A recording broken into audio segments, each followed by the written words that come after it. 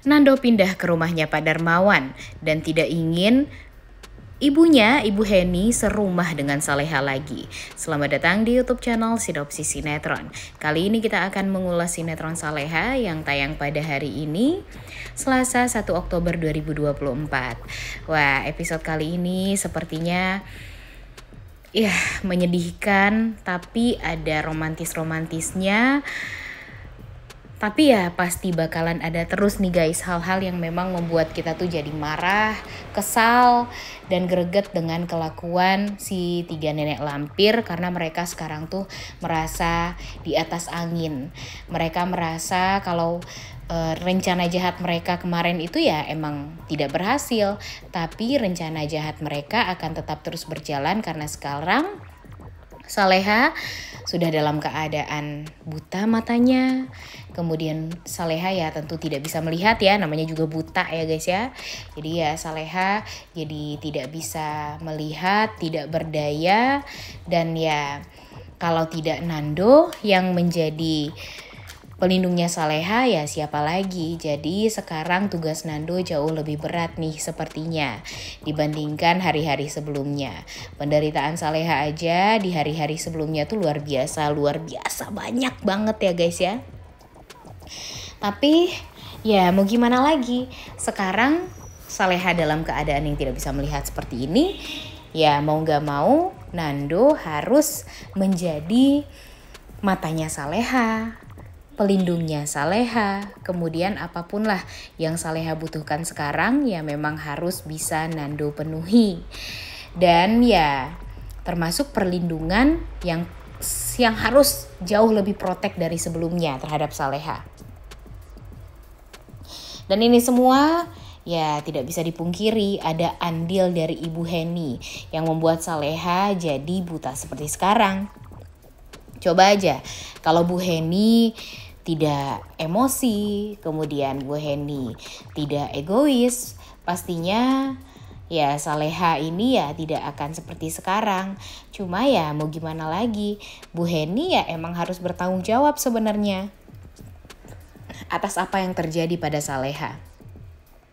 Dan ya sekarang Saleha pun uh, mau gak mau harus dibawa sama Nando yang tadinya Nando berpikir akan dia bawa ke rumahnya Pak Rahmat, tapi nyatanya enggak ya guys ya. Nyatanya memang uh, Nando ini akan membawa Saleha pindah ke rumahnya Pak Darmawan karena dia berpikir kalau Saleha yang dalam keadaan seperti sekarang tinggal di rumahnya Pak Rahmat dan ada Bu Heni serta Ferdi juga di sana ya tentu keadaan tidak akan pernah aman. Jadi ibu uh, jadi Pak Darmawan meminta kepada Nando dan Nando pun sepertinya juga lebih uh, yakinlah dengan permintaan Pak Darmawan tersebut karena sekarang kan Nando juga sudah menyelesaikan um, menyelesaikan tugas dia juga nih di rumahnya Pak Rahmat dengan uh, menyelesaikan pernikahannya Ferdi dengan sangat amat lancar dan pernikahan Ferdi pun ya terbukti berjalan dengan sangat amat lancar tidak ada kendala sedikit pun. Tapi sayangnya ya kendalanya malah setelah itu ya guys ya kendalanya malah menimpa Saleha. Jadi Nando pun pastinya ya diperbolehkan untuk pindah dari rumah Pak Rahmat itu ditambah lagi Nando juga tidak akan tenang dong ya kalau dia tetap tinggal di rumah tersebut. Karena apalagi sekarang Saleha dalam keadaan seperti itu pastinya akan mudah sekali bagi Bu Siska eh, kemudian Gania dan Ferdi untuk mencelakai Saleha. Jadi ya mau nggak mau Pak Rahmat pun juga nggak bisa um, nggak bisa um, menghentikan keinginan Nando. Jadinya Pak Darmawan memperbolehkan uh, Nando untuk membawa Saleha pindah dari rumah itu. Tapi permasalahannya sebelumnya kan Nando ingin dia tinggal bersama ibunya juga karena pastinya Saleha juga bakalan happy nih tinggal bersama Ibu Heni. Namun ya karena keadaan itulah membuat Nando jadinya tidak percaya sama ibunya sendiri. Dia membiarkan Ibu Heni untuk tinggal di sana dengan Pak Rahmat, dengan uh, Bu Siska, Ferdi dan Gania. Dan ya dia tinggal bersama Pak Darmawan dan Bara di kontrakan kecil milik Menik. Nah, itu tentunya adalah hal yang sangat amat menyedihkan sebenarnya ya, apalagi bagi Bu Heni. Karena Bu Heni kan uh, ya dia merasa bersalah banget dengan apa yang sudah dia lakukan kepada Saleha. Tapi dia juga nggak bisa mendapatkan uh, maaf begitu saja dari Nando, dari Pak Darmawan, dan dari Bara. Mungkin saja mereka sudah memaafkan, tapi sepertinya tidak halnya dengan Nando. Karena Nando merasa sangat amat kecewa banget dengan ibunya ini. Dia tahu gimana baiknya Saleha. Dia tahu kalau Saleha ini berusaha sekali untuk bisa memperbaiki hubungannya dengan Ibu Heni. Tapi Bu Heni waktu itu egois, Bu Heni tidak mementingkan uh, Saleha sedikit pun sehingga Saleha jadi celaka seperti itu. Jadi ya mudah-mudahan saja ini akan menjadi um, akan menjadi uh, pelajaran lah bagi Bu Heni karena ternyata keegoisan yang sudah dilakukan oleh Bu Heni ini ya sama banget dengan apa yang sudah Pak Darmawan lakukan dulu kepada Saleha. Saleha jadi menderita luar biasa gara-gara perlakuan dari Pak Darmawan kan dulunya. Dan Pak Darmawan sudah menyadari tentang itu semua sekarang. Eh tapi ternyata malah Bu Heni yang memperlakukan Saleha buruk. Padahal sebelumnya Bu Heni ini sayang banget sama Saleha ya. Kita udah tahu banget kan gimana sikap aslinya Bu Heni itu.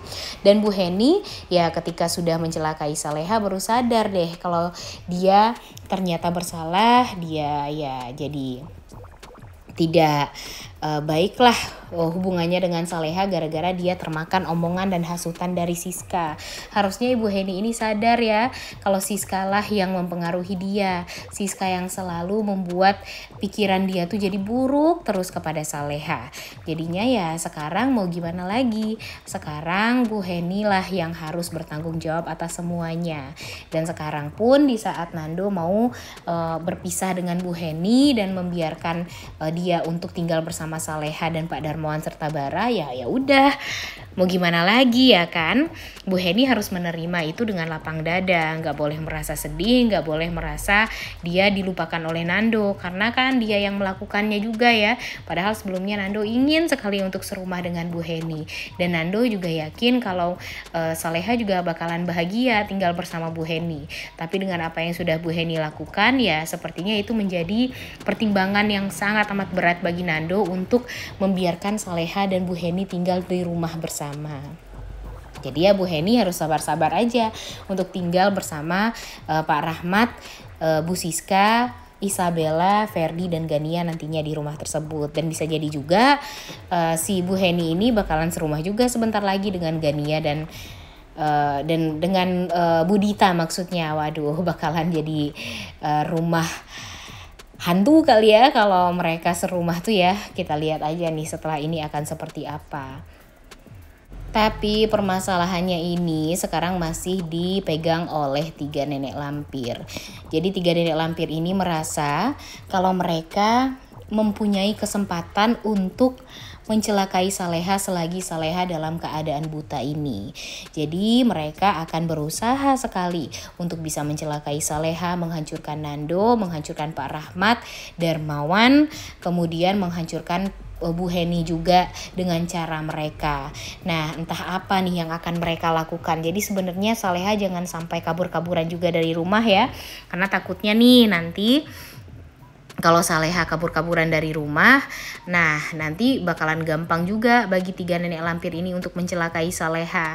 Karena kan Saleha sekarang berkekurangan ya, dia tidak bisa melihat, dia tidak bisa mempunyai tahu bukti apa yang sudah dilakukan oleh orang-orang jahat tersebut kepada Saleha jadi waduh jangan sampai deh Saleha jadi berantem sama Nando atau gimana. Tapi hal baiknya ternyata di saat Saleha dalam keadaan sekarang Nando selalu ada untuk Saleha. Nando tidur sama Saleha Nando bisa mendekap Saleha dengan penuh kasih sayang dan itu adalah hal yang sangat amat penting sebenarnya di bagi keluarga kecilnya Saleha dan Nando ini. Dan tentunya yang kita harapkan Nando dan Saleha ini udah bisa uh, ngomong anak ya guys ya. Karena jujur kita tuh udah sangat berharap sebenarnya mereka bisa bersatu mereka bisa mempunyai anak juga setelah ini. Karena kan pernikahan mereka udah sah hubungan mereka juga sudah baik-baik banget. Jadi mudah-mudahan saja setelah ini Saleha dan Nando bisa mempunyai anak. Pastinya anaknya lucu banget ya guys ya seperti Saleha ibunya. Nah kemudian di episode kali ini pun kita juga sangat amat berharap kalau uh, Saleha jangan sampai diganggu oleh nenek-nenek lampir ini. Karena kan setidaknya Saleha sudah dijaga sama Nando, Darmawan dan uh, Bara yang serumah dengan mereka dengan Saleha. Dan pastinya mereka ini tidak akan mau untuk uh, sampai Saleha ini celakalah pokoknya. Mereka akan menjaga Saleha banget. Tiga orang laki-laki loh yang sangat amat menyayangi Saleha dan pastinya punya power juga. Ditambah dengan Dani dan Bu Sukma juga nih nantinya yang akan menjaga Saleha Nah mudah-mudahan mereka akan bisa berhasil terus-terusan menjaga Saleha ya guys ya. Apalagi mereka juga kompak nih sekarang. Sama-sama saling dukung, sama-sama saling menyayangi. Dan ya Ibu Heni pastinya bakalan kaget juga di saat dia berusaha untuk membersihkan kamarnya Saleha dan Nando. Eh tapi ternyata Nando malah memutuskan untuk tinggal di rumahnya Pak Darmawan dan membawa Saleha dan tentunya meninggalkan Ibu Heni di rumah Pak Rahmat sendiri. Wah pastinya dia bakalan sedih banget sih kebayang ya gimana nanti hancurnya hati Bu Heni ditinggalkan oleh Nando anak yang dia sayangi satu-satunya. Nah, nanti kita lihat aja deh apakah Bu Heni akan sebentar lagi menjadi uh, menjadi uh, nenek lampir juga seperti Ibu Siska, Ibu Rianti dan Bu Dita. Nah, kita lihat nanti aja ya guys ya. Tentunya kita tuh udah gak sabar banget untuk nonton kelanjutan sinetron Saleha yang tayang pada hari ini. Jangan lupa ditonton dan jangan lupa like, comment dan subscribe channel YouTube Sinopsis Sinetron. Terima kasih.